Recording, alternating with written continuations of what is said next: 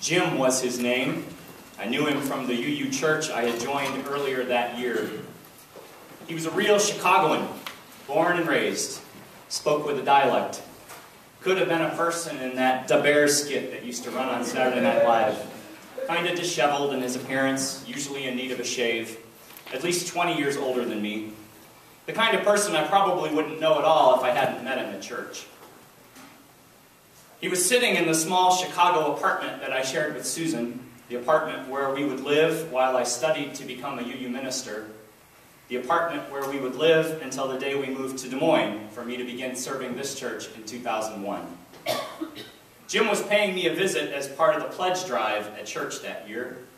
The congregation was doing a one-to-one -one canvas, members talking to members about church, but more specifically about financial commitment to the church.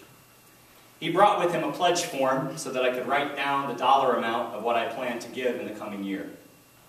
I'd heard a few testimonials during services, seen some handouts about that year's pledge drive, but, you know, I didn't really pay much attention.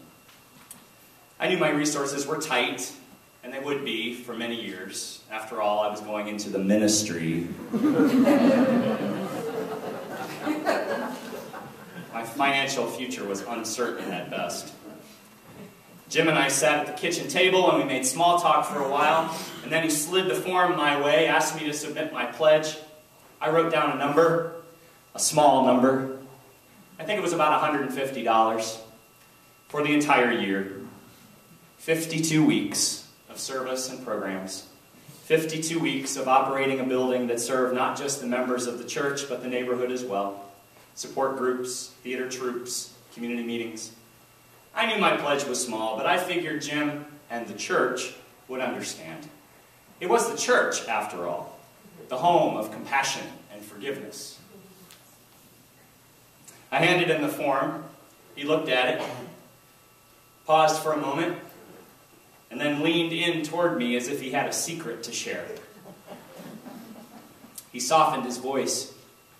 He said, You know, Mark, back when I was new to the church, trying to figure out how much I should give, I figured I could give to the church at least as much as I spent on beer.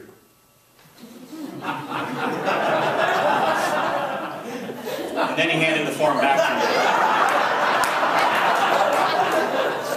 me. He asked me to reconsider my pledge. So what do you think I did? I raised my pledge. I more than doubled it, in fact. Eh, not that big of a deal, right? But it was. I'm not sure how much I was spending on beer at the time. That's not really the point he was making. He was asking me to put the church ahead of some of my less significant priorities. To think of my giving to the church not just as a token offering or as a fulfillment of some minimum obligation, but as a commitment, as an expression of devotion for what the church already was in my life and what it could become. Did I resent him for asking me to give more? Of course not. I thanked him for his time. I thanked him for caring enough about our church to nudge me to consider how much I cared.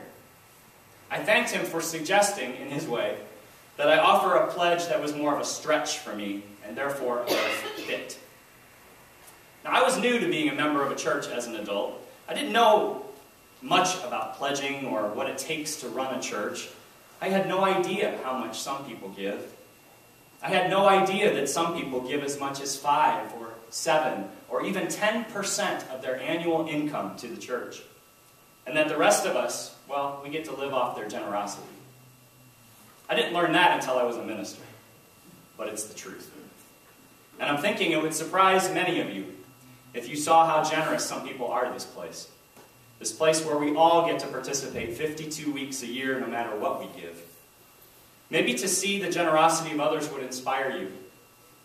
It has inspired me, that's for sure.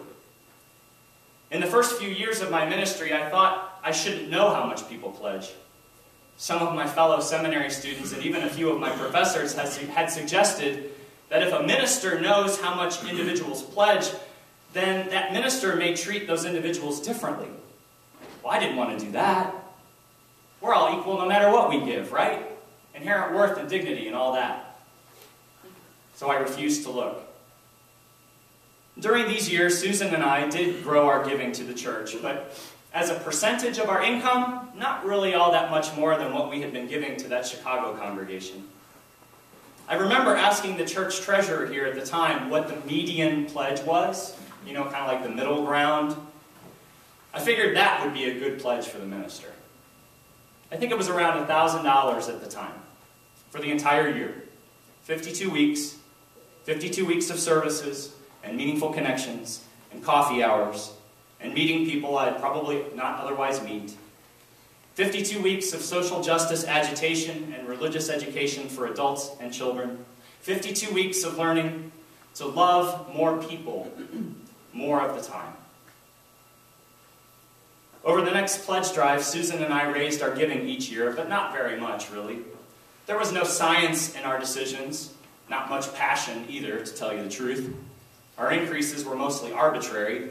Susan let me decide. I knew we needed to increase if we could, so we did. A few hundred dollars more one year, a few hundred dollars more the next. As our pledge amount started to rise, I thought we were giving a lot, certainly our fair share, and by some standards we were. We had moved beyond the median pledge by at least $1,000 by then. We were giving enough, so when we occasionally got behind in our monthly payments, I would end up having to write really big checks that depleted our meager bank account. Sometimes after writing these checks, I even resented the church. Did we have to give so much? It's like I was paying my own salary. Once we switched to automatic payments, having our monthly pledge deducted directly from our checking account, we no longer fell behind, and I no longer had reason to resent the church. For a minister, that's a good thing. Meanwhile, the congregation was growing. Lots of new members were joining. We added staff. The budget kept growing too, mostly because people, more people were pledging. As Nikki told you, we had a capital campaign raised about $1.5 million. Susan and I gave $4,000 to the campaign over three years, 4000 total. I could do the math. Some people were giving a lot more than we were, that's for sure. I was grateful they had it to give. It was easy to see the impact of their generosity. Our building was transformed into a very different and more welcoming place. Those of you who remember how it was before can testify to that more light, more gathering and office space, more energy efficiency, more room to bloom, as we said. And bloom we have. Today we have double the members we had when I started in 2001 and nearly four times the children and youth enrolled in our RE programs. That's blooming. On my sabbatical in 2008, I visited vibrant, growing UU congregations around the country. I learned what it might take for us to continue growing into the church that I knew in my heart we could be. And I came back to the church convinced that we needed a redesign of how we approached our staffing, including the creation of some new positions. I gathered with some church leaders to put together a plan. We talked about all the jobs we thought would be best handled by professional staff, and we created positions on big flip chart paper pages of you know, who might handle these tasks. I went home and looked over all the plans that we'd made, and I crunched the numbers. And I realized that we needed more than a 20% increase in our pledges to pay for all these new positions. 20% across the board. And I got to tell you, I got cold feet. I got scared. I told the group at our next meeting that I was having doubts. I think they were surprised to hear that. They're used to me being so, you know, optimistic. And I'll never forget what they said to me. In fact, I think what they said that night changed my ministry in ways I'm still discovering. One of them said, Mark, tell us what we need. We'll find the money. I looked around the room, and everyone was nodding their head in agreement. At the very moment when I was tempted to play small, to give in to a scarcity mentality, committed, generous members of this church said, Mark, go big. That we have abundance to share. The confidence that small group showed in what was possible was inspiring to me. If they could commit to finding the money that we needed, so could I. That year I took a bigger interest in the pledge drive. I looked at what people gave. I looked at what people gave. And you know what? I did start treating members differently. I found that I was a lot more grateful to a lot more people more of the time. And I had reason to think about my own pledge differently. I realized that Susan and I had a responsibility to become visionary in our approach, approach to pledging, to seed the future rather than just sustain the present. So that year we increased our pledge by more than 25%. Our increases have continued ever since as we continue to move toward the place on that fair share giving guide where we truly belong. Now Susan and I are visionaries. We're visionaries on our way to a full 10% tithe. The pledge form I turned in last night that communicated what we were promising to this church in the coming year totaled $5,000 for the year. We're going to start our pledge in March. For us, the 52 weeks of ministry we provide in this church deserves nothing less.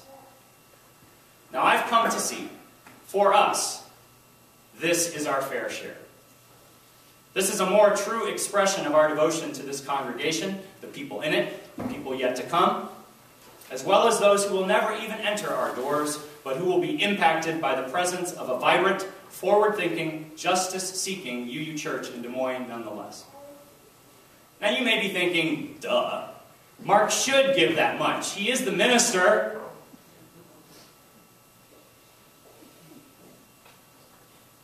But I hope you have figured out from what I've already shared that giving this much did not come easily for a guy like me. A guy who, not so long ago, would have said the only way you can get me to church every week is to pay me to be there.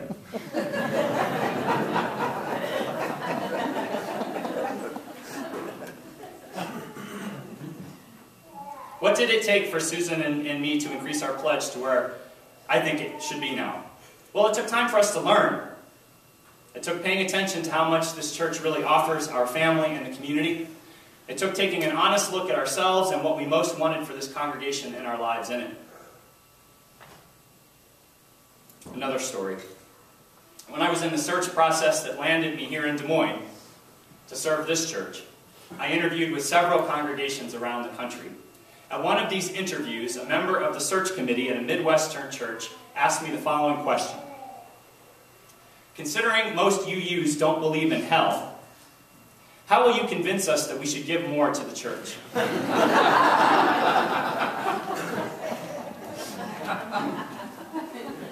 At the time, mostly ignorant of the ins and outs of pledging and church budgets, I laughed off this question. Actually, it kind of annoyed me, but I, I, I mostly laughed it off. And I talked about how, well, you know, I would encourage people to not give until it hurts, but give until it feels good. These many years later, now that I have a broader vision of what is possible for Unitarian Universalism, especially here in Des Moines, I think I would say a lot more to that fellow. These days, I think I would say, you know what, I don't believe in hell either. Not a hell that exists after we have died, a hell that exists as a punishment for what we have or have not done in this life. But I do believe in a kind of hell that is created in the here and now when we won't bring ourselves to embrace the possible when we keep ourselves in a constant state of scarcity, when we yearn for lives of doing more and being more and serving more, but we always hold back. We always have one foot out the door. How we give or don't give to the church can be just another expression of that kind of hell.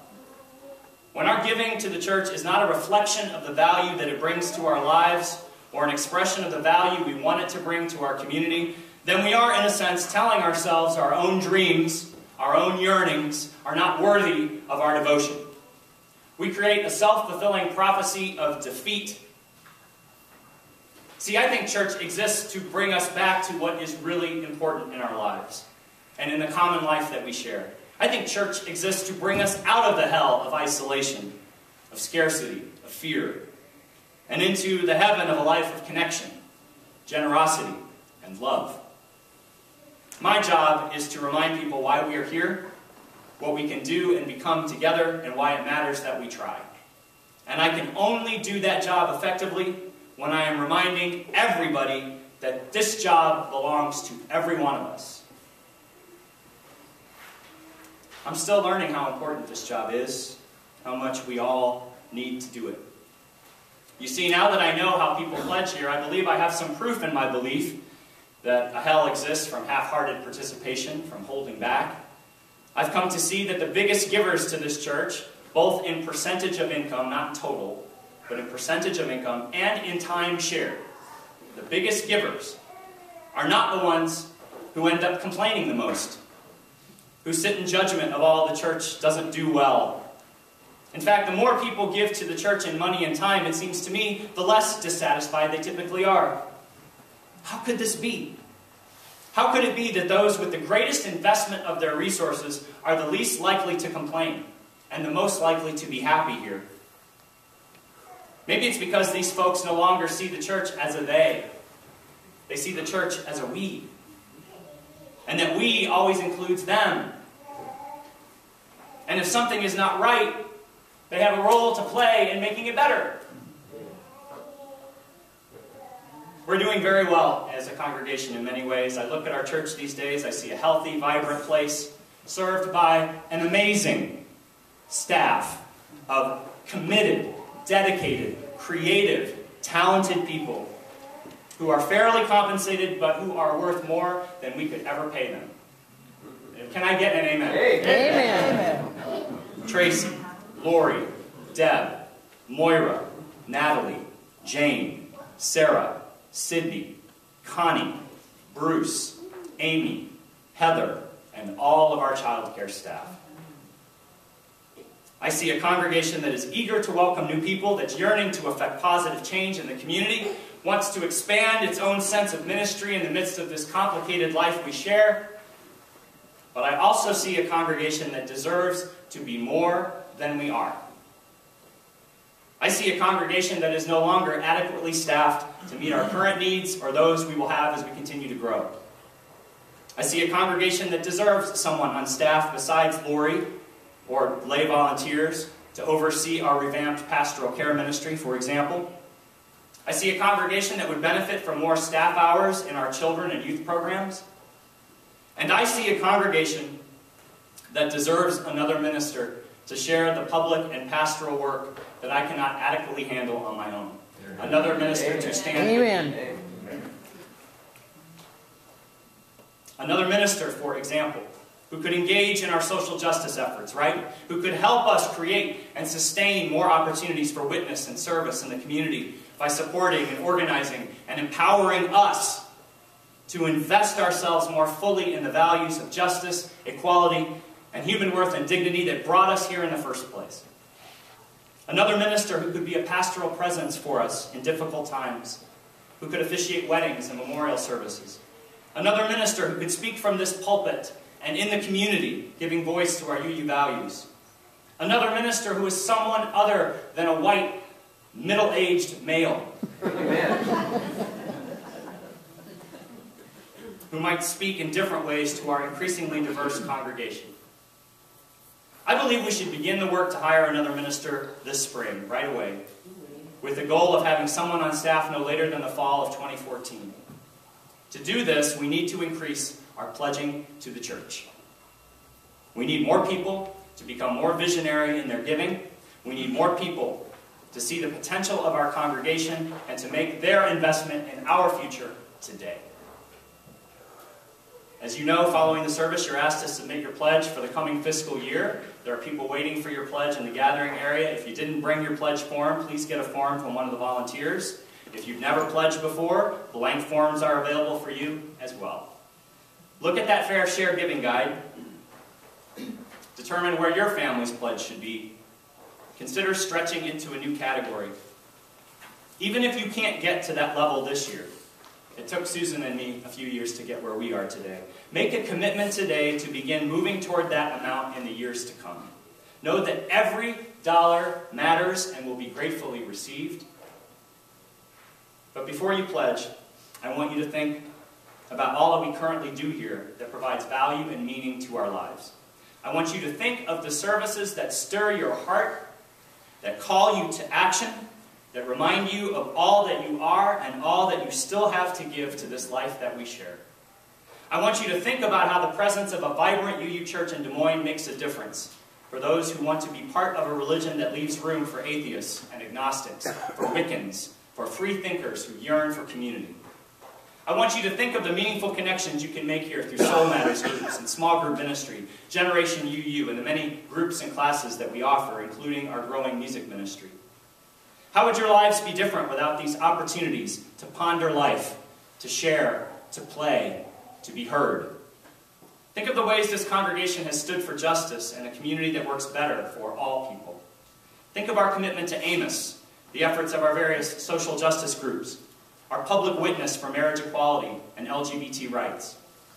Think of how much value and meaning we bring to our young people through our religious education programming and our nurturing of their self worth through classes like Coming of Age and the Our Whole Lives Sexuality curriculum. Think of the importance of this multi generational community of discovery, learning, and service in all of our lives. Is there anywhere else where we have more opportunity to interact and learn from people of all ages we might not otherwise meet? Think of all those who have contributed in the past to make today possible. How does our giving now honor their generosity then? Think of all these things. I trust that if you do, you will see a congregation worthy of your most generous contribution, a congregation worthy of your devotion. May it be so. Our lives together deserve nothing less.